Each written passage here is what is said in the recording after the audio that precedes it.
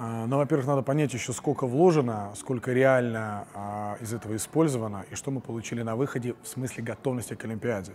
Потому что, насколько я понимаю, огромные бюджетные средства были брошены туда, и насколько, опять-таки, мы знаем даже и средств массовой информации, огромное количество коррупции, мошенничества.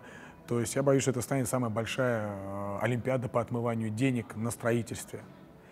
А, насколько экономически она выгодна, это надо спросить тех, кто просчитывал экономический бизнес-план Олимпиады. По идее, конечно, Олимпиада это выгодно. Олимпиада выгодно, когда приезжает много туристов, Олимпиада выгодно, когда продаешь показы, ну и так далее, и так далее. Я думаю, что специалисты в этом разбираются гораздо больше. Надо задать вопрос, насколько все эти пункты выполнимы в наших условиях и в городе Сочи.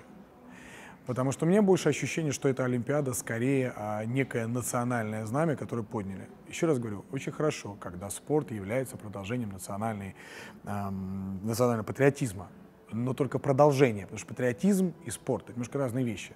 Спорт — это достижение в одной из областей культуры человечества, да? Поэтому должен быть истинный патриотизм, и к этому прилагаться радость за спортивные победы, а не наоборот.